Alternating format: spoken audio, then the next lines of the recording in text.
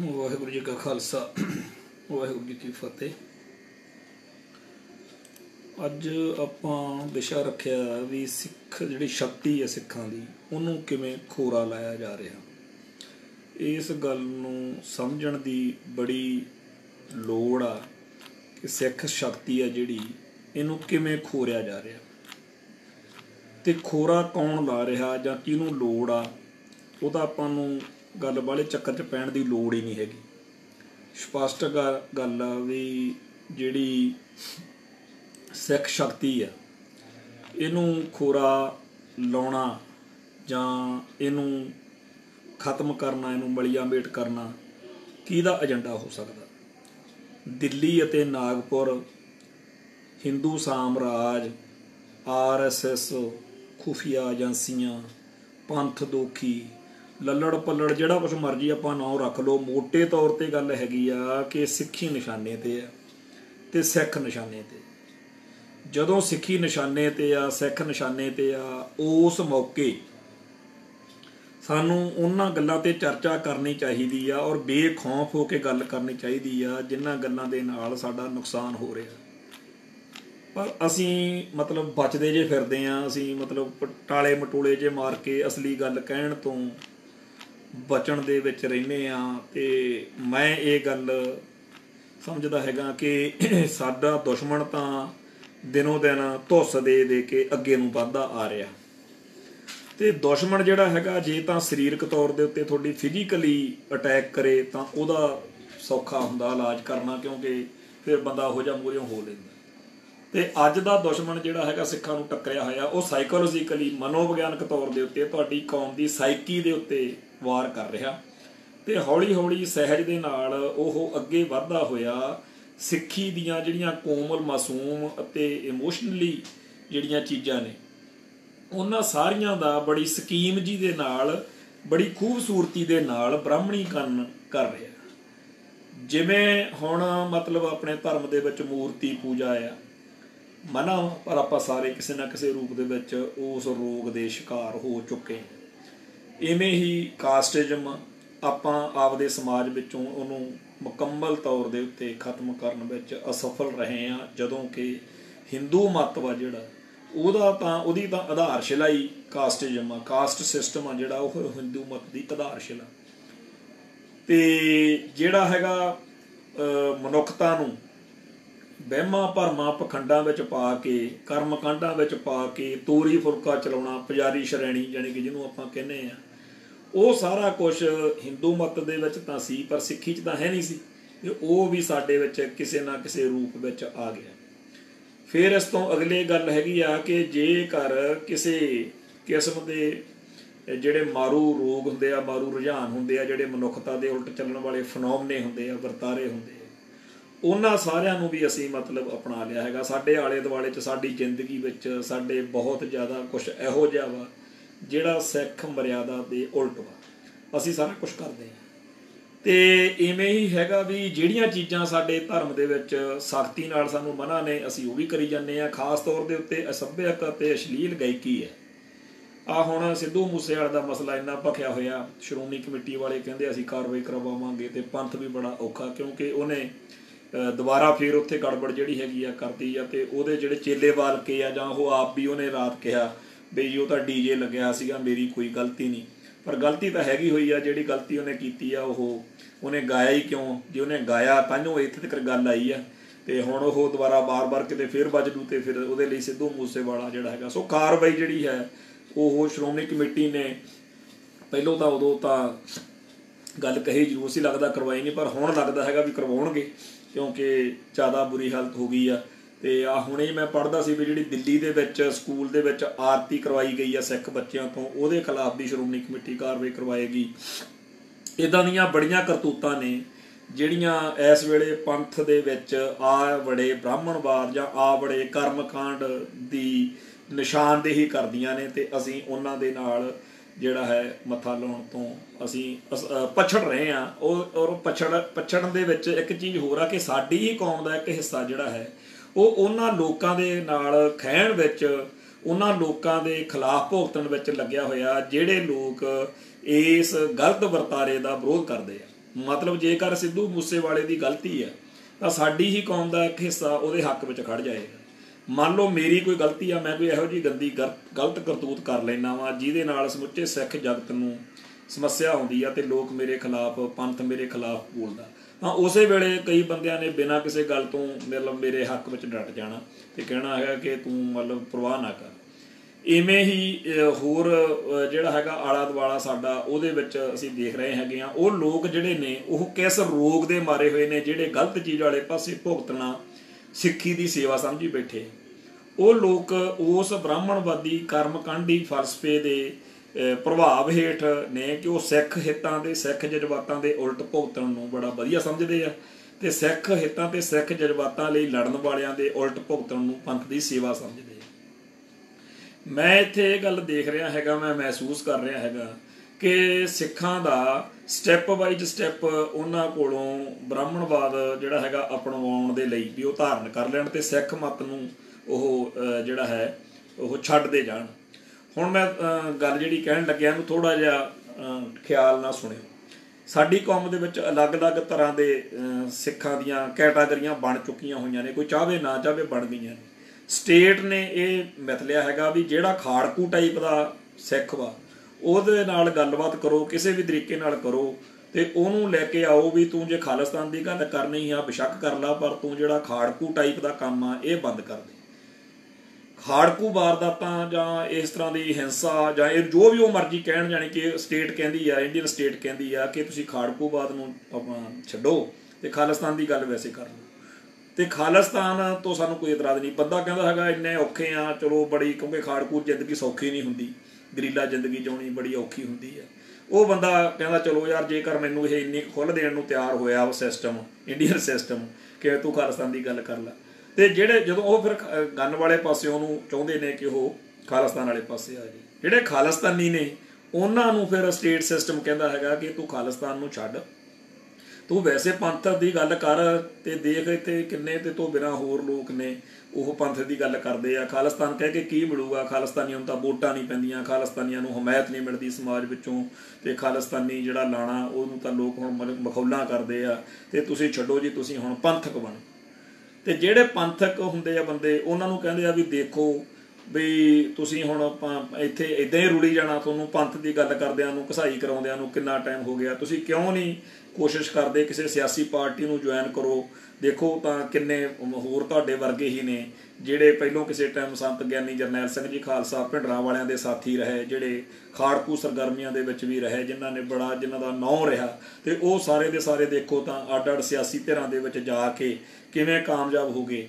ਜੇ ਹੋਰ ਕਿਤੇ ਨਹੀਂ ਜਾਣਾ ਹੈਗਾ ਤਾਂ ਦੇਖੋ ਤੁਸੀਂ ਬਾਦਲ ਦਾ ਲਈ ਜੁਆਇਨ ਕਰ ਲਓ। ਦੇਖੋ ਤਾਂ ਉੱਥੇ ਵਿਰਸਾ ਸਿੰਘ ਬਲਟੋਹਾ, ਅਮਰਜੀਤ ਸਿੰਘ ਚਾਵਲਾ ਤੇ ਆਪਣਾ ਮਹਿਤਾ ਰਜਿੰਦਰ ਸਿੰਘ ਮਹਿਤਾ ਤੇ ਹੋਰ ਕਿੰਨੇ ਨੇ ਜਿਹੜੇ ਕਿ ਜਿਹੜੇ ਨੇ ਮੁੰਡੇ ਉਸ ਟਾਈਮ ਬਾਬਾ ਜਰਨੈਲ ਸਿੰਘ ਜੀ ਭਿੰਡਰਾਂ ਵਾਲਿਆਂ ਦੇ ਸੰਗੀ ਸਾਥੀ ਹੁੰਦੇ ਸੀ, ਜਿਹੜੇ ਕਿ ਖਾੜਕੂ ਭਾਈ ਹਰਜਿੰਦਰ ਸਿੰਘ ਜਿੰਦਾ ਵਰਗਿਆਂ ਦੇ ਯੋਧਿਆਂ ਦੇ ਸੰਗੀ ਸਾਥੀ ਰਹੇ ਨੇ। ਤੇ ਉਹ ਵੀ ਤਾਂ ਹੁਣ ਬਾਦਲ ਦਲ ਦੇ ਵਿੱਚ ਜਾ ਕੇ ਉਹਦੇ ਮਾਣ ਹੀ ਰਹੇ ਨੇ ਤੇ ਤੁਹਾਨੂੰ ਕੀ ਬਿਮਾਰੀ ਪਈ ਆ? ਕਿਉਂ ਤੁਸੀਂ ਐਵੇਂ ਕਸਾਈ ਕਰਾਉਂਦੇ ਫਿਰਦੇ ਹੋ? ਚਲੋ ਜੀ, ਤੁਸੀਂ ਮਤਲਬ ਇਹ ਕਰ ਲਓ। ਇਹ ਇਹ ਅਗਲੀ ਇਹ ਕਿਹਾ ਜਾਂਦਾ। ਜੇ ਉਹ ਕਹਿੰਦਾ ਵੀ ਨਹੀਂ, ਮੈਂ ਉਹ ਕਹਿੰਦਾ ਫਿਰ ਕਾਂਗਰਸ ਦੇਖੋ ਹਰਮਿੰਦਰ ਸਿੰਘ ਗਿੱਲ ਵਾ। ਉਹ ਕਾਂਗਰਸ ਵਿੱਚ ਜਾ ਕੇ ਸਫਲ ਹੋ ਗਿਆ। ਤੋਂ ਹਰੇਕ ਜਿਹੜਾ ਹੈਗਾ ਮਤਲਬ ਕਿਸੇ ਵੇਲੇ ਦਾ ਚੋਟੀ ਦਾ ਜੁਝਾਰੂ। ਉਹਨੂੰ ਕਹਿੰਦੇ ਆ ਵੀ ਤੂੰ ਖਾਲਿਸਤਾਨ ਤੇ ਆ ਜਾ। ਜਿਹੜਾ ਖਾਲਿਸਤਾਨੀ ਆ, ਉਹਨੂੰ ਕਹਿੰਦੇ ਨੇ ਤੂੰ ਖਾਲਿਸਤਾਨ ਛੱਡ ਤੇ ਪੰਥਕ ਬਣ ਜਾ। ਜਿਹੜਾ ਪੰਥਕ ਵਾ, ਉਹਨੂੰ ਕਹਿੰਦੇ ਆ ਤੂੰ ਸਿਆਸਤਦਾਨ ਬਣ ਜਾ। ਵੀ ਦੇਖ ਫਲਾਨਾ ਜਿਹੜਾ ਹੈਗਾ, ਉਹ ਵੀ ਤਾਂ ਕਾਂਗਰਸ ਵਿੱਚ ਜਾ ਕੇ ਸਫਲ ਹੋ ਗਿਆ ਐਮਐਲਏ ਬਣਿਆ ਫਿਰਦਾ, ਮੰਤਰੀ ਬਣਿਆ ਫਿਰਦਾ। ਜਾਂ ਫਲਾਨਾ ਜਿਹੜਾ ਹੈਗਾ, ਹੁਣ ਦੇਖ ਤੂੰ ਉਹ ਬਣਿਆ ਫਿਰਦਾ ਅਕਾਲੀਆਂ 'ਚ ਜਾ ਕੇ ਬਿਰਸਾ ਸਿੰਘ ਬਲਟੋਹਾ ਬਣ ਗਿਆ, ਜਾਂ ਰਜਿੰਦਰ ਸਿੰਘ ਮਹਿਤਾ ਤੇ ਅਮਰਜੀਤ ਸਿੰਘ ਚਾਵਲਾ ਆ ਬਣ ਗਏ ਆ। ਤੋਂ ਇਦਾਂ ਦੀ ਗੱਲ ਜਿਹੜੀ ਹੈ, ਉਹ ਕਰ ਲਿਆਂਦੀ ਹੈ। ਤੇ ਜਦੋਂ ਇਸ ਤੋਂ ਅਗਲਾ ਜਿਹੜਾ ਸਟੈਪ ਵਾ, ਜਦੋਂ ਇਹ ਲੋਕ ਸਿਆਸੀ ਖੇਤਰ ਵਿੱਚ ਚਲੇ ਜਾਂਦੇ ਆ, ਤੋਂ ਜਿਹੜੇ ਸਿੱਖ ਸਿਆਸਤ ਵਿੱਚ ਚਲੇ ਜਾਂਦੇ ਨੇ, ਉਹਨਾਂ ਦਾ ਬ੍ਰਾਹਮਣੀਕਰਨ ਕਰਨਾ ਬੜਾ ਹੀ ਸੌਖਾ। ਕਿਵੇਂ ਸੌਖਾ? ਵੀ ਜਿਵੇਂ ਹੁਣ ਕਿਸੇ ਵੇਲੇ ਬਾਬਾ ਜਰਨੈਲ ਸਿੰਘ ਜੀ ਦੇ ਧਿਰ ਦੇ ਵਿੱਚ, ਚੋਟੀ ਦੇ ਜਢਾਰੂਆਂ ਵਿੱਚ ਜਿਨ੍ਹਾਂ ਦੀ ਗਿਣਤੀ ਹੁੰਦੀ ਸੀ, ਹੁਣ ਉਹਨਾਂ ਨੂੰ ਵੋਟਾਂ ਦੇ ਲਈ ਉਹ ਸਾਰੇ ਕੁੱਤੇ ਕੰਮ ਕਰਨੇ ਪੈਂਦੇ ਆ, ਜਿਹੜੇ ਉਹਨਾਂ ਨੇ ਉਦਾਂ ਕਦੇ ਵੀ ਨਹੀਂ ਸੀ ਕਰਨੇ। ਜਿਹੜੀਆਂ ਆਪਾਂ ਉਹਦੀਆਂ ਵਿਰਸਾ ਸੌਰੀ ਅਮਰਜੀਤ ਸਿੰਘ ਚਾਵਲੇ ਦੀ ਫੋਟੋ ਸੋਸ਼ਲ ਮੀਡੀਆ ਤੇ ਇੱਕ ਜਗਰਾਤੇ 'ਚ ਬੈਠੇ ਦੀ ਆਉਂਦੀ ਆ, ਉਹਦੀ ਇੱਕ ਵਾਰੀ ਉਹਨੇ ਪਿੱਛੇ ਜੇ ਸਪਸ਼ਟੀਕਰਨ ਵੀ ਦਿੱਤਾ ਸੀ ਉਸ ਗੱਲ ਦੇ ਉੱਤੇ ਵੀ ਮੈਂ ਕਿਉਂ ਇਦਾਂ ਗਿਆ ਜਾਂ ਕਿਉਂ ਨਹੀਂ ਜਾਣਾ। ਐਵੇਂ ਹੋਰ ਜਿਹੜੇ ਲੀਡਰ ਨੇਗੇ ਉਹਨਾਂ ਨੂੰ ਵੋਟਾਂ ਦੇ ਲਈ ਹਿੰਦੂ ਭਵਨਾਂ 'ਚ ਜਾਂ ਹਿੰਦੂ ਦੀਆਂ ਵੋਟ ਵੀ ਤਾਂ ਵੋਟ ਤੰਤਰ ਦੇ ਵਿੱਚ ਤਾਂ ਸਭ ਦੀ ਵੋਟ ਸੋ ਇਹ ਜਿਹੜੀ ਭਾਰਤੀ ਹਕੂਮਤੀ ਸਿਸਟਮ ਦੀ ਇਹ ਨੀਤੀ ਆ ਵੀ ਖਾਲਿਸਤਾਨੀ ਜੁਝਾਰੂਆਂ ਨੂੰ ਖਾਲਿਸਤਾਨੀ ਬਣਾਓ ਖਾਲਿਸਤਾਨੀਆਂ ਨੂੰ ਥੋੜਾ ਜਿਹਾ ਇੱਕ ਸਟੈਪ ਥੱਲੇ ਲੈ ਕੇ ਆਓ, ਉਹਨਾਂ ਨੂੰ ਪੰਥਕ ਬਣਾ ਲਓ। ਜਿਹੜੇ ਪੰਥਕ ਨੇ, ਉਹਨਾਂ ਨੂੰ ਸਿਆਸਤ ਵਿੱਚ ਲਿਆਓ। ਜਿਹੜੇ ਸਿਆਸੀ ਨੇ, ਉਹਨਾਂ ਦਾ ਫਿਰ ਸੌਖਾ ਜਿਹਾ ਹੋ ਜਾਂਦਾ ਹੈਗਾ ਵੀ ਉਹਨਾਂ ਨੂੰ ਬ੍ਰਾਹਮਣਵਾਦ ਦੇ ਮੱਕੜ ਜਾਲ 'ਚ ਫਸਾਉਣਾ, ਕਿਉਂਕਿ ਵੋਟਾਂ ਦਾ ਲਾਲਚ ਬੰਦੇ ਨੂੰ ਘੇਰ ਲੈਂਦਾ, ਵੋਟਾਂ ਦਾ ਲਾਲਚ ਬੰਦੇ ਨੂੰ ਮਾਰ ਲੈਂਦਾ। ਇਸ ਵੇਲੇ ਸੁਖਵਿੰਦਰ ਸਿੰਘ, ਜਿਹੜੀਆਂ ਟੀ-ਸ਼ਰਟਾਂ ਦੀ ਗੱਲ ਕਰਦਾ ਹਾਂ ਦੇਖ ਤਾਂ ਮੈਂ ਤਾਂ ਆਪ ਨਵੀਂ ਲੈ ਕੇ ਆਇਆ ਵਾਂ, ਬਾਬਾ ਜਰਨੈਲ ਸਿੰਘ ਵਾਲੀ। ਹਾਂਜੀ। ਕੋਈ ਟੀ-ਸ਼ਰਟਾਂ ਤਾਂ ਹੁਣ ਮਿਲਦੀਆਂ ਹੀ ਨੇ। ਬੰਦੇ ਨੂੰ ਲੈਣ ਲੈਣ ਮਿਹਨਤ ਕਰਨੀ ਪੈਂਦੀ ਆ। ਇੱਥੇ ਮੇਲਾ ਲੱਗਿਆ ਸੀ, ਅੰਮ੍ਰਿਤਸਰ ਵਾਧੂ ਵਿਕਦੀਆਂ ਸੀ। ਤੇ ਚਲੋ, ਮੈਂ ਜਿਹੜੀ ਗੱਲ ਕਰਦਾ ਵੀ ਖਾਲਿਸਤਾਨੀ ਜੁਝਾਰੂਆਂ ਨੂੰ ਇੱਕ ਸਟੈਪ ਥੱਲੇ ਲੈ ਕੇ ਆਉਣਾ, ਵੀ ਖਾਲਿਸਤਾਨ ਦੀ ਗੱਲ ਕਰ ਦੋ, ਜੁਝਾਰੂ ਕੰਮ ਛੱਡ ਦਿਓ। ਖਾਲਿਸਤਾਨੀਆਂ ਨੂੰ ਕਹਿੰਦੇ ਨੇ ਵੀ ਤੁਸੀਂ ਪੰਥਕ ਬਣ ਜਾਓ। ਪੰਥਕ ਬੰਦੇ ਨੂੰ ਕਹਿੰਦੇ ਨੇ ਤੁਸੀਂ ਇਲੈਕਸ਼ਨ ਚ ਆ ਜਾਓ। ਇਲੈਕਸ਼ਨ ਵਾਲੇ ਨੂੰ ਕਹਿੰਦੇ ਨੇ ਤੁਸੀਂ ਜਿਹੜਾ ਹੈਗਾ ਹੁਣ ਆਪੇ ਫਿਰ ਜਦੋਂ ਵੋਟਾਂ ਚ ਆਉਂਦਾ ਬੰਦਾ, ਮੈਨੂੰ ਪਤਾ ਸੀ ਵੋਟਾਂ ਬਟਨ ਦੇ ਚੱਕਰਾਂ 'ਤੇ ਘੁੰਮਿਆ ਉਥੇ। ਆਹ ਸਾਰਾ ਇਹ ਚੱਕਰ, ਇਹ ਖਲ ਖਲ ਖਲਜਗੜ ਪਿੰਡੇ ਤੇ ਹੰਡਾਇਆ। ਜਦੋਂ ਬੰਦਾ ਚੰਗਾ ਭਲਾ, ਜਦੋਂ ਉਹਨੂੰ ਇਹ ਲੱਗਦਾ ਨਾ ਕਿ ਮੈਂ ਵੋਟਾਂ 'ਚ ਖੜਾ, ਮੈਂ ਜਿੱਤਣਾ, ਫਿਰ ਉਹ ਹਰ ਤਰ੍ਹਾਂ ਦਾ ਟਟਵੈਰ ਕਰਨ ਨੂੰ, ਪੁੱਠਾ ਕੰਮ ਕਰਨ ਨੂੰ, ਜਿਹੜੀ ਉਹਦੀ ਜ਼ਮੀਰ ਵੀ ਨਹੀਂ ਮੰਨਦੀ ਹੁੰਦੀ ਜੀ, ਮਤਲਬ ਉਹ ਕੰਮ ਕਰਨ ਨੂੰ ਬੰਦਾ ਤਿਆਰ ਹੋ ਜਾਂਦਾ। ਤੋ ਇੱਕ ਤਰੀਕੇ ਨਾਲ ਸਿੱਖਾਂ ਦੇ ਉਸ ਹਿੱਸੇ ਕੋਲੋਂ, ਜਿਹੜੇ ਆਪਾਂ ਸਭ ਤੋਂ ਚੰਗੇ ਸਿੱਖ ਮੰਨਦੇ ਆ ਉਹ ਮਤਲਬ ਜਿਨ੍ਹਾਂ ਬਾਰੇ ਲੋਕਾਂ ਨੂੰ ਬੜੀਆਂ ਹੁੰਦੀਆਂ ਨੇਗੀਆਂ ਵੀ ਇਹ ਸਭ ਤੋਂ ਵਧੀਆ ਜਿਹੜੇ ਖਾਲਿਸਤਾਨੀ ਸਿੱਖ ਨੇ ਇਹ ਬਹੁਤ ਵਧੀਆ ਨੇ। ਜਦੋਂ ਇੱਕ ਖਾਲਿਸਤਾਨੀ ਸਿੱਖ ਨੂੰ ਹੌਲੀ ਹੌਲੀ ਥੱਲੇ ਲਿਆ ਕੇ ਅਗਲੇ ਮੰਦਰ 'ਚ ਮੱਥਾ ਟਕਵਾ ਕੇ ਤਿਲਕ ਲਵਾ ਕੇ ਉਹਦੇ ਜੁੱਤ ਤੇ ਚੁੰਨੀ ਜਗਰਾਤੇ ਕਰਨ ਭੇ ਲਾ ਦਿੰਦੇ ਆ ਇਹ ਉਹਦੀ ਅਹ, ਪ੍ਰਾਪਤੀ ਆਪਾਂ ਉਹਨੂੰ ਗਾਲਾਂ ਕੱਢਦੇ ਫਿਰਦੇ ਆ ਵੀ ਦੇਖੋ ਜੀ ਉਹ ਫਲਾਨਾ ਹੁਣ ਜਿਹੜਾ ਹੈ ਸਿੱਖ ਲੀਡਰ ਉਹ ਪਿੰਡਰਾਂ ਵਾਲੇ ਨਾਲ ਹੁੰਦਾ ਸੀ ਸੰਤਾਂ ਨਾਲ ਤੇ ਹੁਣ ਦੇਖੋ ਐ ਕਰਦਾ। ਸੋ ਸਿਸਟਮ ਜਿਹੜਾ ਹੈ ਉਹ ਸਾਡੇ ਹੀ ਬੰਦਿਆਂ ਨੂੰ ਸਾਡੇ ਤੋਂ ਉਲਟ ਕਰ ਰਿਹਾ। ਇਸ ਟਾਈਮ ਦਾ ਸਿੱਖ ਯੂਥ ਆ ਜਿਹੜਾ, ਉਹ ਵੀ ਫਿਰ ਇਸ ਚੀਜ਼ ਦਾ ਸ਼ਿਕਾਰ ਹੋਇਆ ਹੈ। ਤੁਸੀਂ ਉਹ ਜਿਵੇਂ ਕਹਿੰਦੇ ਕਿ ਹੁੰਦੇ ਬਾਬਾ ਜਰਨੈਲ ਸਿੰਘ ਦੀ ਧਿਰ ਦੇ ਬੰਦੇ ਸੀ, ਉਹਨਾਂ ਨੂੰ ਅਸੀਂ ਦੂਜੇ ਪਾਸੇ ਖੜਾ ਦੇਖ ਰਹੇ ਹਾਂ ਇਸ ਟਾਈਮ ਬ੍ਰਾਹਮਣਵਾਦ ਵਾਲੇ, ਉਹ ਮੰਨਦੇ ਨਹੀਂ ਹੁੰਦੇ ਹੈਗੇ। ਪਰ, ਅਹ, ਜਿਹੜੀ, ਅਹ, ਹੈਗੀ ਆ ਸਿੱਖ ਯੂਥ ਆ ਜਿਹੜਾ ਇਸ ਵੇਲੇ ਦਾ, ਉਹਨੂੰ ਮੁੱਖ ਏਜੰਡਾ ਜਿਹੜਾ ਹੈਗਾ ਉਹਦੇ ਲਈ ਬਣਾਇਆ ਉਹਨੂੰ ਵੀ ਸਮਝਣ ਦੀ ਲੋੜ ਆ ਕਿ ਬੜੀ ਸਕੀਮ ਜੀ ਦੇ ਨਾਲ ਉਹਨਾਂ ਨੂੰ ਵੀ ਸਹਿਜੇ ਸਹਿਜੇ ਸਿੱਖੀ ਉਹਨਾਂ ਦੇ ਅੰਦਰੋਂ ਖੋਰੀ ਜਾ ਰਹੀ ਹੈ ਉਹ ਖੁਰੀ ਹੋਈ ਦਾ ਸਬੂਤ ਆ ਵੀ ਜਦੋਂ ਜਿਹੜੇ ਆਹ ਆਈਲਟਸਾਂ ਕਰਕੇ ਮੁੰਡੇ ਕੁੜੀਆਂ ਸਾਡੇ ਬਾਹਰ ਗਏ ਨੇ ਜਾਂ ਹੁਣ ਉਹ ਉਹਦਾ ਇੱਕ ਟੈਸਟ ਸੀਗਾ ਜਦੋਂ ਸਿੱਧੂ ਮੂਸੇਵਾਲਾ ਜਦੋਂ ਉੱਥੇ ਗਾਣਾ ਗਾਇਆ। ਹੁਣ ਉੱਥੇ ਬੈਠੇ ਮੁੰਡੇ ਕੁੜੀਆਂ ਨੂੰ ਕਿਉਂ ਨਹੀਂ ਗੁੱਸਾ ਆਇਆ? ਕਿਉਂ ਨਹੀਂ ਉਹਨਾਂ ਨੇ ਕਿਹਾ? ਜਾਂ ਸਿੱਧੂ ਮੂਸੇਵਾਲੇ ਦੇ ਦਿਮਾਗ 'ਚ ਇਹ ਗੱਲ ਕਿਉਂ ਨਹੀਂ ਆਈ ਕਿ ਯਾਰ ਮੈਂ ਇਹ ਦੁਬਾਰਾ ਡੀਜੇ ਤੇ ਗਾਣਾ ਲੱਗ ਗਿਆ? ਤੇ ਡੀਜੇ ਵਾਲੀ ਦੀ ਗਲਤੀ ਆ, ਉਹਨੇ ਉਹ ਲਾਈਨਾਂ ਚਲਾਤੀਆਂ ਜਿਹੜੀਆਂ ਕਿ ਪੰਥ ਵਿੱਚ ਇਤਰਾਜ਼ ਹੋਇਆ। ਹੈ, ਮੈਂ ਤਾਂ ਅਕਾਲ ਤਖਤ ਨੂੰ ਚਿੱਠੀ ਭੇਜੀ ਹੋਈ ਹੈ ਵੀ ਮੈਂ ਮਾਫੀ ਮੰਗਣੀ ਆ ਨਵੰਬਰ ਚ ਕੇ ਮੈਂ ਪੇਸ਼ ਹੋਣਾ।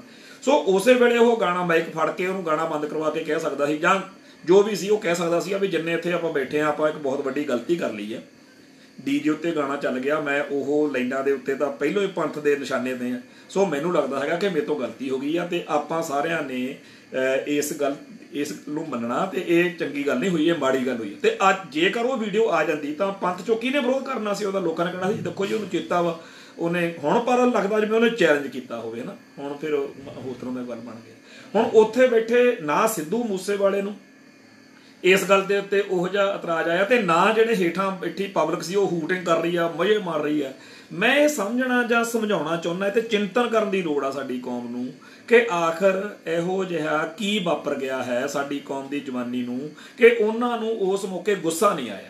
ਉਹਨਾਂ ਨੂੰ ਗੁੱਸਾ ਆਉਣਾ ਚਾਹੀਦਾ ਸੀ। ਉਹਨਾਂ ਦੇ ਜੇਲ੍ਹ ਵਿੱਚ ਇਹ ਗੱਲ ਆਉਣੀ ਚਾਹੀਦੀ ਸੀ ਕਿ ਇਹਦੇ ਉੱਤੇ ਤਾਂ ਸਾਡੇ ਮਾਪੇ, ਭੈਣ, ਭਰਾ, ਪੰਜਾਬ, ਪੰਥ ਸਾਰੇ ਦੁਨੀਆ 'ਚ ਬੈਠੇ ਸਿੱਖਾਂ ਦੇ ਵਿੱਚ ਇੱਕ ਬੜਾ ਰੋਸ ਆ ਕਿ ਇਹ ਲਾਈਨਾਂ ਜਿਹੜੀਆਂ ਮਾਈ ਭਾਗਕੌਰ ਵਾਲੀਆਂ ਨੇਗੀਆਂ ਤੇ ਇੱਥੇ ਕਿਉਂ ਦੁਬਾਰਾ ਵੱਜੀਆਂ ਨੇ। ਪਰ ਉਲਟਾ ਉਹਨਾਂ ਨੇ ਉਹਨਾਂ ਗੱਲਾਂ ਜਦੋਂ ਤੁਸੀਂ ਦੇਖੋ ਵੀਡੀਓ ਨੂੰ, ਜਦੋਂ ਉਹ ਲਾਈਨਾਂ ਆਉਂਦੀਆਂ ਨੇ ਉਦੋਂ ਸਿੱਧੂ ਮੂਸੇ ਵਾਲਾ ਵੀ ਪੂਰੇ ਜੋਸ਼ ਨਾਲ ਇਦਾਂ ਬਾਹ ਉੱਤੇ ਕਰਦਾ ਤੇ ਨਾਲ ਦੀ ਨਾਲ ਜਿਹੜਾ ਹੈ ਜਿਹੜੇ ਉੱਥੇ ਸਿੰਗਰ ਨੂੰ ਸੁਣ ਰਹੇ ਨੇ, ਉਹ ਵੀ ਸਾਰੇ ਉਹਨੂੰ ਵਧੀਆ ਮੰਨਦੇ ਆ। ਜਿਵੇਂ ਗੁਰਦਾਸ ਮਾਨ ਨੇ ਜਦੋਂ ਬੱਤੀ ਵਾਲੀ ਗੱਲ ਕਹੀ ਸੀ, ਉਦੋਂ ਬਹੁਤ ਸਾਰੀਆਂ ਜਿਹੜੀਆਂ ਵੀਡੀਓ ਆਈਆਂ ਸੀ, ਜਿਹਦੇ ਵਿੱਚ ਉੱਥੇ ਲੋਕ ਜਿਹੜੇ ਸੀ ਬੜੇ ਖੁਸ਼ ਹੋ ਰਹੇ ਸੀ। ਇਹ ਜਿਹੜਾ ਸਾਡਾ ਟ੍ਰੈਂਡ ਬਣ ਗਿਆ ਵਾ ਕਿ ਅਸੀਂ ਉਲਟ ਚੀਜ਼ ਨੂੰ, ਗਲਤ ਚੀਜ਼ ਨੂੰ, ਜਿਹੜੀ ਸਿੱਖ ਹਿੱਤਾਂ ਜਾਂ ਪੰਥਕ ਹਿੱਤਾਂ ਜਾਂ ਸਿੱਖ ਕਲਚਰ ਦੇ ਉਲਟ ਗੱਲ ਵਾ, ਉਹਦੇ ਬਾਰੇ ਜਿਹੜਾ ਹੈ, ਉਹ ਉਹ ਜਦੋਂ ਵਾਪਰ ਰਿਹਾ ਹੁੰਦਾ, ਕਿਵੇਂ ਗੁਰਦਾਸ ਮਾਨ ਇਹ ਹਰਕਤ ਕਰ ਗਿਆ? ਕਿਵੇਂ ਸਿੱਧੂ ਮੂਸੇਵਾਲਾ ਇਹ ਹਰਕਤ ਕਰ ਗਿਆ? ਕਿਵੇਂ ਉੱਥੇ ਬੈਠੇ ਲੋਕਾਂ ਨੂੰ ਇਹ ਚੀਜ਼ ਪ੍ਰਵਾਨ ਹੋ ਗਈ?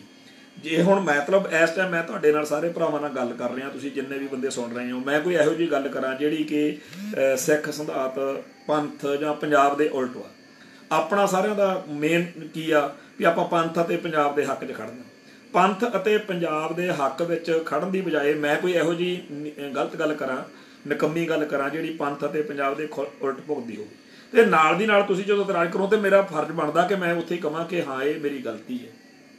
ਕਿਉਂਕਿ ਤੁਸੀਂ ਵੀ ਸਮਝ ਲਈ ਤੇ ਮੈਨੂੰ ਵੀ ਸਮਝ ਲੱਗੀ ਕਿ ਗਲਤੀ ਹੈ। ਗਲਤੀ ਤਾਂ ਬੰਦੇ ਤੋਂ ਹੋਣੀ ਹੈ ਨਹੀਂ ਜਿਹਨੇ ਕੰਮ ਕਰਨਾ ਉਹ ਤੋਂ ਗਲਤੀਆਂ ਹੋਣੀਆਂ ਹੀ ਨੇ।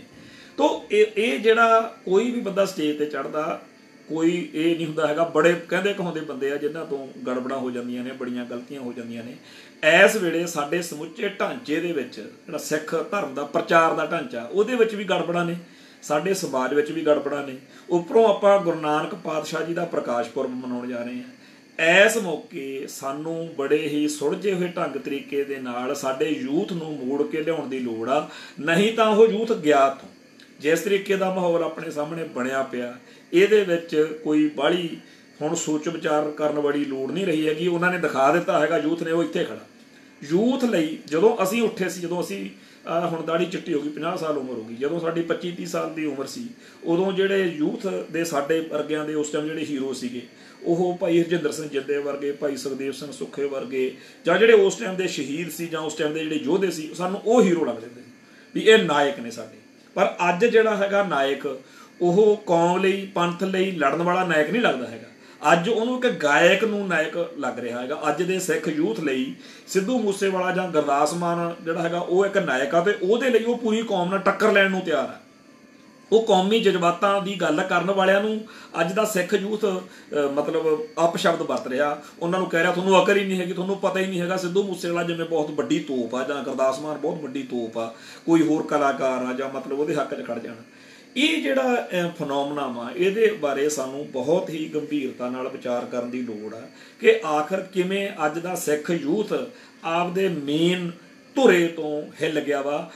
ਅੱਜ ਦੇ ਸਿੱਖ ਯੂਥ ਵਿੱਚ ਉਹ ਜਜ਼ਬਾ ਕਿਉਂ ਨਹੀਂ ਹੈਗਾ ਜਿਹੜਾ ਸਾਡੀ ਪਿਛਲੀ ਪੀੜ੍ਹੀ 'ਚ ਸੀ?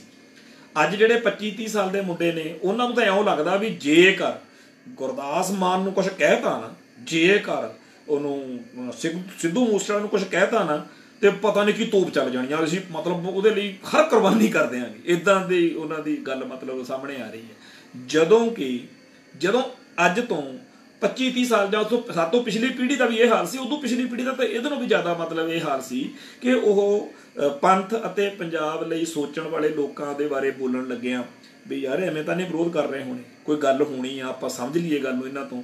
ਤਾਂ ਸਾਨੂੰ, ਅਸੀਂ ਆਪ ਦੇਖਿਆ ਕਈ ਵਾਰੀ ਜਦੋਂ ਅਸੀਂ ਕੋਈ ਬਿਆਨ ਪੜ੍ਹਦੇ ਸੀ ਜਾਂ ਕੋਈ ਗੱਲ ਕਹਿੰਦੇ ਸੀ, ਸਾਨੂੰ ਨਹੀਂ ਸਮਝ ਲੱਗਦੀ ਸੀ। ਪਰ ਅਸੀਂ ਕਹਿੰਦੇ ਸੀ ਵੀ ਯਾਰ ਉਹਨਾਂ ਨੇ ਕਹੀ ਇਹ ਗੱਲ ਗਲਤ ਥੋੜੀ ਹੋਣੀ ਹੈ ਤੋਂ ਅੱਜ ਦਾ ਜਿਹੜਾ ਸਿੱਖ ਯੂਥ ਆ, ਉਹਦੀ ਇੱਕ ਬਹੁਤ ਵੱਡੀ ਸਮੱਸਿਆ ਵਾ, ਬਹੁਤ ਹੀ ਜ਼ਿਆਦਾ ਔਖੀ ਸਮੱਸਿਆ ਵਾ ਕਿ ਉਹਨੂੰ ਇਹ ਚੀਜ਼ ਜਿਹੜੀ ਆ, ਸਮਝਣ ਦੀ ਲੋੜ ਆ। ਪਰ ਉਹ ਸਮਝ ਕਿਵੇਂ ਆਊਗੀ ਉਹਨੂੰ?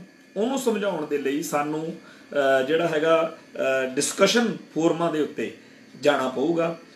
ਜਿਹੜੀਆਂ ਸਾਡੀਆਂ ਸਿੱਖ ਸੰਸਥਾਵਾਂ ਨੇ, ਉਹਨਾਂ ਨੂੰ ਯੂਥ ਨਾਲ ਇੰਟਰਐਕਟ ਹੋਣ ਦੀ ਲੋੜ ਆ।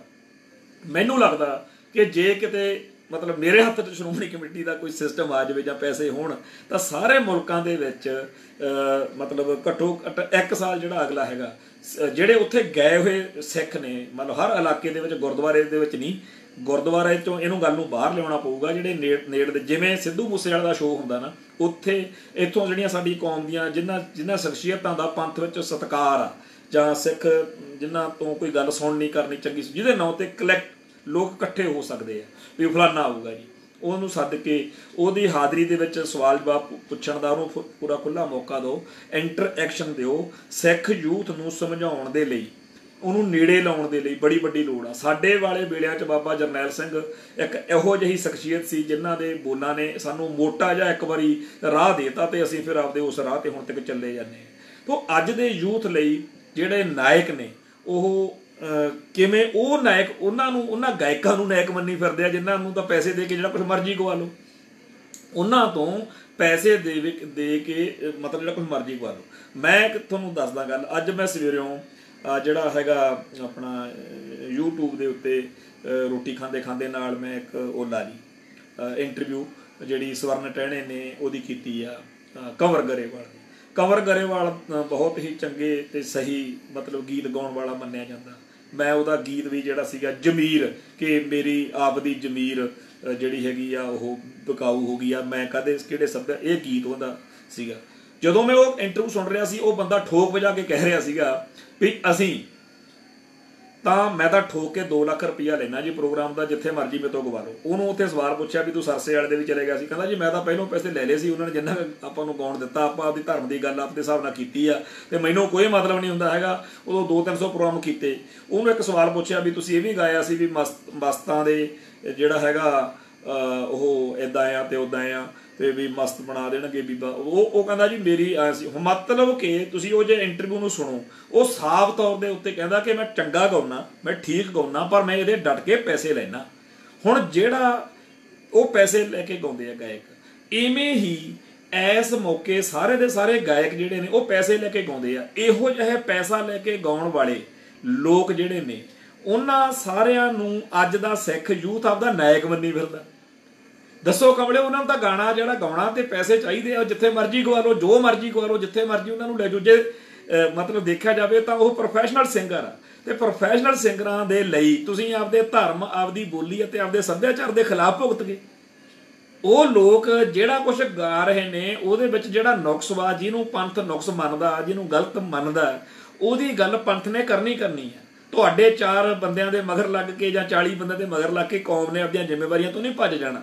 ਜਿੱਥੇ ਸਿੱਧੂ ਮੂਸੇਵਾਲਾ ਜਾਂ ਗੁਰਦਾਸ ਮਾਨ ਜਾਂ ਏਬੀਸੀਡੀ ਕੋਈ ਵੀ ਪੰਥ ਅਤੇ ਪੰਜਾਬ ਦੇ ਹਿੱਤਾਂ ਦੇ ਉਲਟ ਭੁਗਤੇਗਾ, ਉੱਥੇ ਉਹਦਾ ਵਿਰੋਧ ਲਾਜ਼ਮੀ ਹੋਣਾ ਹੀ ਹੋਣਾ। ਤੇ ਤੁਸੀਂ ਐਵੇਂ ਸਮਝੀ ਫਿਰਦੇ ਹੋ ਵੀ ਖਨੀ ਘਮਾਣ ਦੇ ਖਿਲਾਫ ਚਾਰ ਪੋਸਟਾਂ ਪਾ ਦਿਆਂਗੇ ਜਾਂ ਫਲਾਣੇ ਨੂੰ ਚਾਰ ਗਾਲਾਂ ਕੱਢ ਕੇ ਚੁੱਪ ਕਰਾ ਲਾਂਗੇ ਐਦਾਂ ਨਹੀਂ ਹੁੰਦਾ।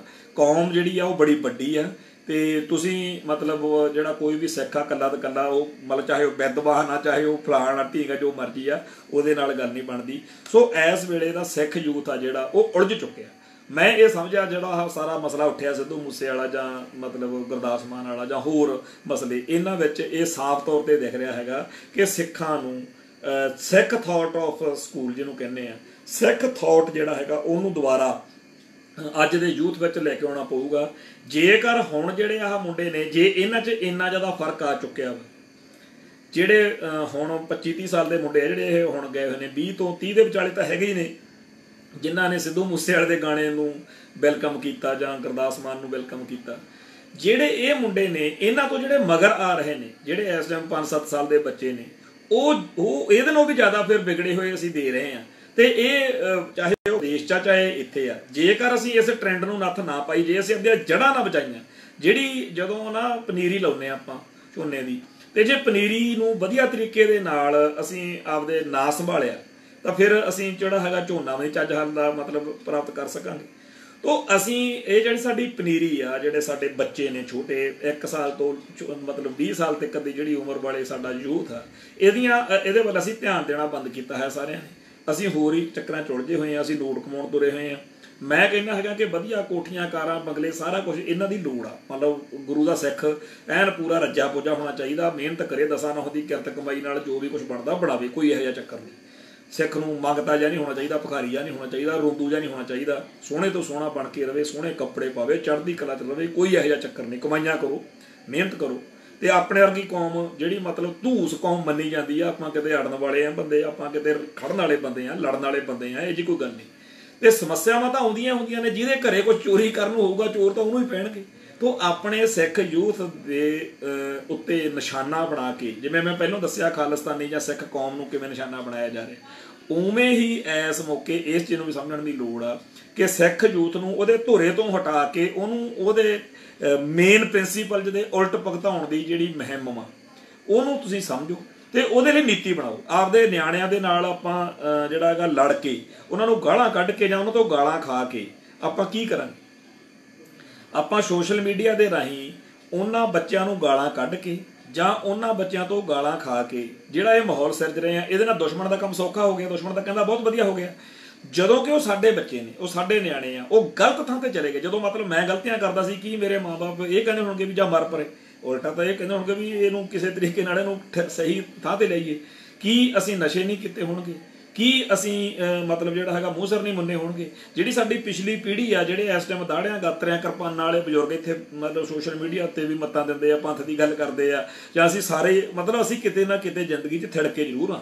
ਇਹ ਨਹੀਂ ਹੈਗਾ ਕਿ ਅਸੀਂ ਬਿਲਕੁਲ ਹੀ ਓਕੇ ਹੀ ਰਹੇ ਹਾਂ ਸਭ ਅਸੀਂ ਵੀ ਕਰਤੂਤਾਂ ਸੌ ਕੀਤੀਆਂ ਹੋਣਗੀਆਂ। ਪਰ ਕਿਸੇ ਨੇ ਸਾਨੂੰ ਸਹੀ ਮਤ ਦਿੱਤੀ ਕਿਸੇ ਨੇ ਸਹੀ ਮੌਕੇ ਸਮਝਾਇਆ ਕਿਸੇ ਰਾਗੀ ਢਾਡੀ ਕਥਾਕਾਰ ਪ੍ਰਚਾਰਕ ਕਿਸੇ ਸਭਾ ਸੁਸਾਇਟੀ ਵਿੱਚ ਬੈਠੇ ਕਿਸੇ ਦੀ ਕੋਈ ਗੱਲ ਪਿੰਚ ਕਰ ਗਈ ਤੇ ਅੱਜ ਮਤਲਬ ਜਿਹੜਾ ਹੈਗਾ ਅਹ, ਆਪਦੇ ਆਪਦੇ ਫਖਰ ਆ ਵੀ ਚਲੋ ਆਪਾਂ ਸਹੀ ਥਾਂ ਤੇ ਖੜੇ ਆ ਬੜੇ ਬੰਦੇ ਨੇ ਕਿ ਜਿਹੜੇ ਮਤਲਬ ਕਿਸੇ ਵੇਲੇ ਬਿਲਕੁਲ ਐਂਟੀ ਸਿੱਖ ਖਿਆਲਾਂ ਦੇ ਸੀ, ਹੁਣ ਉਹਨਾਂ ਨੂੰ ਪੰਥ ਨਾਲ ਪਿਆਰ ਆ। ਬੜੇ ਬੰਦੇ ਸੀ ਜਿਹੜੇ ਬਿਲਕੁਲ ਹੀ ਮਤਲਬ ਉਲਟ ਸੀਗੇ, ਪਰ ਉਹ ਪੰਜਾਬ ਦੇ ਹ- ਹੱਕਾਂ 'ਚ ਖੜ ਗਏ। ਸੋ ਪੰਥ ਅਤੇ ਪੰਜਾਬ ਪ੍ਰਤੀ ਸਾਡੀ ਵਫਾਦਾਰੀ ਹੋਣੀ ਚਾਹੀਦੀ ਹੈ। ਪੰਥ ਅਤੇ ਪੰਜਾਬ ਪ੍ਰਤੀ ਸਾਡੀ ਜਿਹੜੀ ਸੁਰਤ ਵਾ, ਉਹ ਠੀਕ ਹੋਣੀ ਚਾਹੀਦੀ ਆ। ਅਸੀਂ ਕੁਝ ਗਵਾ ਰਹੇ ਆ। ਉਹਨੂੰ ਸਮਝਣ ਦੀ ਲੋੜ ਅਸੀਂ ਕੀ ਗਵਾ ਰਹੇ ਅਸੀਂ ਕੀ ਇੱਥੋਂ ਕੱਢ ਰਹੇ ਹਾਂ ਮਤਲਬ ਜਦੋਂ ਸਾਡੇ ਬੱਚੇ ਇਹੋ ਜਿਹੀ ਖੇਡ ਦਾ ਸ਼ਿਕਾਰ ਹੋ ਗਏ ਨੇ ਜਿਹੜੀ ਖੇਡ ਸਾਡੇ ਧਰਮ ਅਤੇ ਸਾਡੇ ਅਸੂਲਾਂ ਦੇ ਉਲਟ ਵਾ, ਉਹਦੇ ਬਾਰੇ ਅਸੀਂ ਗੱਲ ਕਰਨ ਤੋਂ ਹੀ ਭੱਜਣ ਲੱਗੇ ਮੈਨੂੰ ਕਈਆਂ ਨੇ ਕਿਹਾ, ਭਾਜੀ, ਤੁਸੀਂ ਕੀ ਲੈਣਾ? ਇਹਨਾਂ ਜਵਾਕਾਂ ਤੋਂ ਤੁਹਾਨੂੰ ਮਾੜਾ ਚੰਗਾ ਬੋਲਦੇ ਆ। ਮੈਨੂੰ ਮਤਲਬ ਚੰਗਾ ਨਹੀਂ ਲੱਗਦਾ। ਕਈਆਂ ਨੇ ਕਿਹਾ ਕਿ ਮਤਲਬ ਇੱਕ ਸਾਡੇ ਰਿਸ਼ਤੇਦਾਰੀ ਚੋਂ ਸਾਡੇ ਕੁੜੀ ਸੀਗੀ ਕੋਈ, ਅੱਜ ਉਹਦਾ ਵੀ ਸਵੇਰੋਂ ਆਇਆ। ਵੀ ਤੁਸੀਂ ਕਿਉਂ ਇਦਾਂ ਦੀਆਂ ਗੱਲਾਂ ਕਰਦੇ ਹੁੰਦੇ ਹੋ? ਕੀ ਲੈਣਾ? ਇਹ ਸਿੱਧੂ ਮੂਸੇਵਾਲੇ ਦੇ ਫੈਨ ਨੇ। ਮੈਂ ਕਿਹਾ, ਯਾਰ, ਅਸੀਂ ਵੀ ਤਾਂ ਸਿੱਖਾਂ ਦੇ ਬੱਚੇ ਆ। ਅਸੀਂ ਸਿੱਧੂ ਮੂਸੇਵਾਲੇ ਦੇ ਦੁਸ਼ਮਣ ਨਹੀਂ ਹੈਗੇ ਜਾਂ ਗੁਰਦਾਸ ਮਾਨ ਦੇ ਵੈਰੀ ਨਹੀਂ ਹੈਗੇ। ਪਰ ਜਿੱਥੇ ਕੋਈ ਗੱਲ ਕੌਮ ਅਤੇ ਧਰਮ ਦੀ ਆ, ਇੱਕ ਰਾਤ ਮੈਨੂੰ ਧਮਕੀਆਂ ਜਿਹੀਆਂ ਦਿੰਦਾ ਸੀਗਾ ਬੰਦਾ। ਕਹਿੰਦਾ ਜੀ, ਤੇਰੇ ਤੇ ਸਵੇਰ ਤੱਕ ਪਰਚਾ ਹੋ ਜਾਣਾ। ਤੇ ਮਤਲਬ ਤੈਨੂੰ ਐ ਤੇ ਉਹ ਨਾ ਕਾਫੀ ਰਾਤ ਜਿਹੜਾ ਲਾਈਵ ਸੀਗਾ ਉਹਦੇ ਵਿੱਚ ਤੇ ਉਹ ਰਾਤ ਵਾਲਾ ਲਾਈਵ ਜਦੋਂ ਆਹ ਕਰਦੇ ਆ ਫਿਨਿਸ਼ ਉੱਥੇ ਇੱਕ ਬਟਨ ਜਿਹਾ ਦੱਬਣਾ ਪੈਂਦਾ, ਉਸ ਤੇ ਸਾਰਾ ਡਿਲੀਟ ਹੋ ਗਿਆ। ਤੋ ਮੈਂ ਇਹ ਬੇਨਤੀ ਫਿਰ ਕਰ ਦੇਣੀ ਚਾਹੁੰਦਾ ਕਿ ਆਪਾਂ ਆਪਦੀ ਹੀ ਕੌਮ ਦੇ ਬੱਚਿਆਂ ਦੇ ਲਈ ਬਾਰ-ਬਾਰ ਲਾਈਵ ਹੋਈਏ, ਸਾਰੇ ਬੰਦੇ ਲਿਖੋ ਪੜੋ ਤੇ ਬੋਲੋ ਤੇ ਸਿੱਖ ਯੂਥ ਨੂੰ ਇਸ ਗੱਲ ਦੇ ਉੱਤੇ ਕਾਇਲ ਕਰੀਏ ਕਿ ਅਸਲੀ ਤੁਹਾਡੀ ਥਾਂ ਕਿਹੜੀ ਹੈ। ਤੁਸੀਂ ਉਹਨਾਂ ਗਾਇਕਾਂ ਦੇ ਮਗਰ ਲੱਗ ਕੇ ਆਪਦੀ ਕੌਮ ਦੇ ਨਾਲ, ਆਪਦੇ ਪੰਥ ਨਾਲ ਜਾਂ ਆਪਦੇ ਸੱਭਿਆਚਾਰ ਨਾਲ, ਆਪਦੀ ਬੋਲੀ ਨਾਲ, ਆਪਦੇ ਸਿਸਟਮ ਦੇ ਉਲਟ ਨਾ ਮਤਲਬ ਭੁਗਤੋ।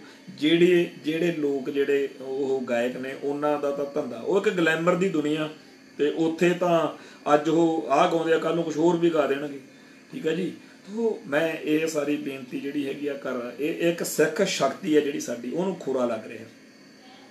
ਜਿਹੜਾ ਸਾਡੇ ਧਰਮ ਦਾ ਮੇਨ ਜਿਹੜਾ ਧੁਰਾ ਵਾ, ਜਿਹੜੀ ਇੱਕ ਪਾਕੀਜ਼ਗੀ ਆ, ਉੱਚਤਾ ਵਾ ਸੁੱਚਤਾ ਵਾ, ਉਹਦੇ ਵਿੱਚ ਅੱਡ-ਅੱਡ ਢੰਗ ਤਰੀਕਿਆਂ ਦੇ ਨਾਲ ਅਗਲੇ ਟਾਰਗੇਟ ਕਰ ਰਹੇ ਨੇ ਤੇ ਆਪਾਂ ਬੇਬਸ ਹੋਏ ਬੈਠੇ ਆ ਕਿਉਂਕਿ ਜਿਹੜੀਆਂ ਸਾਡੀਆਂ ਸੰਸਥਾਵਾਂ ਨੇ, ਸ਼੍ਰੋਮਣੀ ਗੁਰਦੁਆਰਾ ਪ੍ਰਬੰਧਕ ਕਮੇਟੀ, ਅਕਾਲ ਤਖਤ ਸਾਹਿਬ, ਅਕਾਲੀ ਦਲ ਤੇ ਹੋਰ ਸਾਡੀਆਂ ਸੰਸਥਾਵਾਂ ਨੇ, ਉਹਨਾਂ ਸਾਰੀਆਂ ਸੰਸਥਾਵਾਂ ਦੇ ਉੱਤੇ, ਉਹਨਾਂ ਸਾਰੀਆਂ ਸੰਸਥਾਵਾਂ ਦੇ ਉੱਤੇ ਬਹੁਤ ਹੀ ਸਲੀਕੇ ਨਾਲ, ਬੜੀ ਖੂਬਸੂਰਤੀ ਨਾਲ, ਬੜੀ ਪਲੈਨਿੰਗ ਦੇ ਨਾਲ ਉਹਨਾਂ ਨੇ ਉਹ ਧਿਰਾਂ ਲਿਆ ਕੇ ਬਿਠਾਤੀਆਂ ਨੇ, ਜਿਹੜੀਆਂ ਧਿਰਾਂ ਸਾਡੇ ਮੇਨ ਪ੍ਰਿੰਸੀਪਲ ਦੇ ਉਲਟ ਭੁਗਤਣ 'ਚ ਜ਼ਿਆਦਾ ਖੁਸ਼ੀ ਮਹਿਸੂਸ ਕਰਦੀਆਂ ਨੇ। ਸਾਡੇ ਸਾਰੇ ਸਿਸਟਮ ਦੇ ਉਲਟ ਭੁਗਤਣ ਨੂੰ ਤਿਆਰ ਰਹਿੰਦੀਆਂ ਨੇ। ਮਤਲਬ ਕਿ ਅਰਬਾਂ ਖਰਬਾਂ ਰੁਪਈਆ ਖਰਚ ਕੇ ਵੀ ਜੇ ਸਾਡੇ ਪੰਥ ਦੀ ਚੜ੍ਹਦੀ ਕਲਾ ਨਹੀਂ ਹੋ ਸਕੀ ਤਾਂ ਉਹਦਾ ਕਾਰਨ ਇਹੀ ਆ। ਮੈਂ ਇੱਥੇ ਮੇਰੇ ਕੋਲੇ ਆਪਣੇ ਸੱਜਣ ਪਿਆਰੇ ਕੋਈ ਆਏ, ਉਹਨਾਂ ਨਾਲ ਮੈਂ ਗੱਲ ਕਰਦਾ ਸੀ। ਮੈਂ ਕਿਹਾ ਵੀ ਜੇਕਰ ਸਾਰੇ ਪ੍ਰੋਗਰਾਮ ਬੰਦ ਕਰਕੇ ਇਕੱਲੇ ਇੰਨਾ ਹੀ ਕਰ ਦੇਣ ਨਾ ਵੀ ਜਿਹੜੇ ਸ਼੍ਰੋਮਣੀ ਕਮੇਟੀ ਨੇ ਪ੍ਰਚਾਰਕ ਰੱਖੇ ਹੋਏ ਨੇ,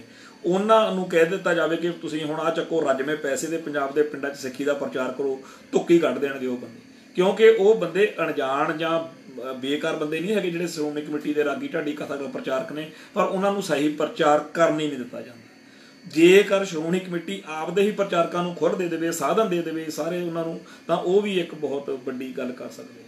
ਸੋ ਇਸ ਵੇਲੇ ਆਪਣਾ ਧਰਮ ਜਿਹੜਾ ਹੈ, ਉਹ ਖਤਰੇ 'ਚ ਆ। ਆਪਾਂ ਆਪਸ ਵਿੱਚ ਹੀ ਸਿੰਘ ਫਸਾ ਕੇ ਬੈਠ ਗਏ ਆ ਆਪਾਂ ਇੱਕ ਦੂਜੇ ਨਾਲ ਲੜ ਰਹੇ ਆ ਇੱਕ ਦੂਜੇ ਨਾਲ ਭਿੜ ਰਹੇ ਆ ਤੇ ਦੁਸ਼ਮਣ ਦਾ ਦਾ ਹੋਰ ਵੀ ਸੌਖਾ ਲੱਗਣ ਜੋਗਾ ਮਾਹੌਲ ਬਣਾ ਰਹੇ ਆ ਤੋਂ ਜਿਨ੍ਹਾਂ ਲੋਕਾਂ ਨੂੰ ਸਾਡੀਆਂ ਗੱਲਾਂ ਨਹੀਂ ਚੰਗੀਆਂ ਲੱਗਦੀਆਂ ਜਿਨ੍ਹਾਂ ਨੂੰ ਸਾਡਾ ਮਤਲਬ ਉਹ ਸਿਸਟਮ ਚੰਗਾ ਨਹੀਂ ਲੱਗਦਾ, ਉਹਨਾਂ ਨੇ ਜਾਂ ਤਾਂ ਆਪੇ ਭੱਜ ਜਾਣਾ, ਜਾਂ ਆਪ ਹੀ ਇਹੋ ਜਿਹਾ ਮਾਹੌਲ ਬਣਾ ਲੈਣਾ ਹੁੰਦਾ, ਬੰਦਾ ਬਲੌਕ ਕਰ ਦਿੰਦਾ। ਪਰ ਮੈਂ ਇਹ ਬੇਨਤੀ ਫਿਰ ਵੀ ਕਰ ਦੇਣੀ ਚਾਹੁੰਦਾ ਕਿ ਆਪਣਾ ਇਸ ਗੱਲ ਨੂੰ ਜ਼ਰੂਰ ਸਮਝੀਏ ਕਿ ਕਿਵੇਂ ਸਿੱਖ ਸ਼ਕਤੀ ਨੂੰ ਖੋਰਾ ਲੱਗ ਰਿਹਾ। ਕਿਵੇਂ ਘੇਰਿਆ ਜਾ ਰਿਹਾ ਸਿੱਖਾਂ ਨੂੰ, ਕਿਵੇਂ ਸਿੱਖਾਂ ਕੋਲੋਂ ਸਿੱਖੀ ਛਡਵਾਈ ਜਾ ਰਹੀ ਹੈ, ਕਿਵੇਂ ਹਰ ਇੱਕ ਸਿੱਖ ਨੂੰ ਸਿੱਖ ਜਜ਼ਬਾਤਾਂ ਤੇ ਸਿੱਖ ਹਿੱਤਾਂ ਦੇ ਉਲਟ ਭੁਗਤਣ ਲਈ ਤਿਆਰ ਕੀਤਾ ਜਾ ਰਿਹਾ ਸਾਨੂੰ ਪਤਾ ਹੀ ਨਹੀਂ ਲੱਗ ਰਿਹਾ ਹੁੰਦਾ ਕਿ ਕਿਵੇਂ ਅਸੀਂ ਆਪਦੇ ਹੀ ਧਰਮ, ਆਪਦੀ ਹੀ ਬੋਲੀ, ਆਪਦੇ ਹੀ ਸੱਭਿਆਚਾਰ, ਆਪਦੀ ਹੀ ਸਿਵਲਾਈਜੇਸ਼ਨ ਦੇ ਉਲਟ ਭੁਗਤ ਰਹੇ ਹੁੰਦੇ ਸੋ ਇਹ ਜਿਹੜੀਆਂ ਚੀਜ਼ਾਂ ਨੇ, ਇਹ ਡਿਸਕਸ਼ਨ ਦੇ ਵਿੱਚ ਹੀ ਆਉਣਗੀਆਂ। ਹੋ ਸਕਦਾ ਮੇਰੀਆਂ ਗੱਲਾਂ ਜਿਹੜੀਆਂ ਨੇ ਕਿਸੇ ਨੂੰ ਨਾ ਚੰਗੀਆਂ ਲੱਗਣ, ਪਰ ਗੱਲ ਤਾਂ ਕਰਨੀ ਬਣਦੀ ਹੈ। ਸੋ ਅੱਜ ਇਹ ਬੇਨਤੀਆਂ ਸੰਗਤ ਨਾਲ ਸਾਂਝੀਆਂ ਕੀਤੀਆਂ ਨੇ। ਪੰਥ ਦੀ ਚੜ੍ਹਦੀ ਕਲਾ ਦੇ ਲਈ, ਪੰਜਾਬ ਦੀ ਚੜ੍ਹਦੀ ਕਲਾ ਦੇ ਲਈ ਅਸੀਂ ਸਦਾ ਸਰਗਰਮ ਰਹੀਏ। ਇੰਨੀਆਂ ਬੇਨਤੀਆਂ ਪ੍ਰਵਾਨ ਕਰਦੇ ਕਰਿਓ। ਕੋਈ ਬੋਲਦਿਆਂ ਕੋਲੋਂ ਸ਼ਬਦ ਉੱਚਾ ਨੀਵਾਂ ਬੋਲਿਆ ਗਿਆ ਹੋਵੇ, ਸੰਗਤ ਬਖਸ਼ਣਯੋਗ ਆ। ਬਾਕੀ ਇੱਕ ਸੱਜਣ ਦਾ ਸ਼ਾਇਦ ਕੋਈ ਆਇਆ ਸੀ ਵੀ ਕੁੜੀ ਅੱਖਰ ਨਾ ਵਰਤੋ ਜਾਂ ਫਲਾਨਾ ਨਾ ਵਰਤੋ। ਵੀਰ ਮੇਰਿਆ ਅਸੀਂ ਪਿੰਡਾਂ ਵਾਲੇ ਸਿੱਧੇ ਸਿੱਧੇ ਜੇ ਬੰਦੇ ਆ। ਤੇ ਸਾਨੂੰ ਬਾਲੀਆਂ ਬਣਾਉਟੀ ਜੀਆਂ ਗੱਲਾਂ ਜਾਂ ਚੱਕਮੀਆਂ ਜੀਆਂ ਗੱਲਾਂ ਜਾਂ ਹੇਠ ਉੱਤੇ ਵਾਲੀਆਂ ਗੱਲਾਂ ਨਹੀਂ ਆਉਂਦੀਆਂ। ਜਿਹੜਾ ਕੁਝ ਅੰਦਰ ਆ ਉਹ ਬਾਹਰ ਆ। ਭਾਵਨਾ ਸਮਝ ਲੱਗੀ ਨਾ ਤੁਹਾਨੂੰ, ਇਹੀ ਬਹੁਤ ਆ। ਕਿਉਂਕਿ ਇੱਥੇ ਅਸੀਂ ਆਪਦੀ ਗੱਲ ਕਹਿਣ ਆਉਂਦੇ ਆ ਜੇਕਰ ਤੁਹਾਨੂੰ ਬਹੁਤ ਜ਼ਿਆਦਾ ਬੁਰਾ ਲੱਗਦਾ ਹੈਗਾ ਤਾਂ ਉਹਦੇ ਵਿੱਚ ਵੀ ਅਸੀਂ ਇਹ ਸਮਝਦੇ ਹੈਗੇ ਆ ਕਿ ਭਾਈ ਤੁਸੀਂ ਸਾਨੂੰ ਬਰਦਾਸ਼ਤ ਕਰਨਾ ਸਿੱਖੋ। ਜੇ ਨਹੀਂ ਕਰ ਹੁੰਦਾ ਹੈਗਾ ਤਾਂ ਉਹਦੇ ਲਈ ਵੀ ਬਲੌਕ ਵਾਲਾ ਬਟਨ ਤੁਹਾਡੇ ਕੋਲ ਆ। ਪਰ ਅਸੀਂ ਇਦਾਂ ਨਹੀਂ ਹੈਗਾ ਵੀ ਕਿਸੇ ਨੂੰ ਖੁਸ਼ ਕਰ ਲਈ ਜਾਂ ਕਿਸੇ ਨੂੰ ਨਾਰਾਜ਼ ਕਰ ਲਈ। ਅਸੀਂ ਤਾਂ ਮੇਰਾ ਰੁੱਸੇ ਦਾ ਕਲਗੀਆਂ ਵਾਲਾ। ਜੱਗ ਭਾਵੇਂ ਸਾਰਾ ਰੁੱਸ ਜੇ, ਤੋ ਸਿੱਖੀ ਦੀ ਚੜ੍ਹਦੀ ਕਲਾ ਲਈ ਅਸੀਂ ਸਰਗਰਮ ਲੋਕ ਹਾਂ। ਨਾ ਕਿ ਅਸੀਂ ਮਤਲਬ ਐਵੇਂ ਨਿੱਕੇ ਨਿੱਕੇ ਨੋਕਦਿਆਂ ਜਾਂ ਜੋ ਪੈ ਕੇ ਆਪਦਾ ਤੇ ਤੁਹਾਡਾ ਕੋਈ ਐਵੇਂ ਦਿਮਾਗ ਖਰਾਬ ਕਰਨ ਆਉਂਦੇ ਆ। ਸੋ ਇੰਨੀਆਂ ਕਿ ਬੇਨਤੀਆਂ ਪ੍ਰਵਾਨ ਕਰਿਓ ਜੀ। ਨਾਨਕ ਨਾਮ ਚੜ੍ਹਦੀ ਕਲਾ ਤੇਰੇ ਪਾਣੇ ਸਰਬੱਤ ਦਾ ਭਲਾ। ਵਾਹਿਗੁਰੂ ਜੀ ਕਾ ਖਾਲਸਾ। ਵਾਹਿਗੁਰੂ ਜੀ ਕੀ ਫਤਿਹ।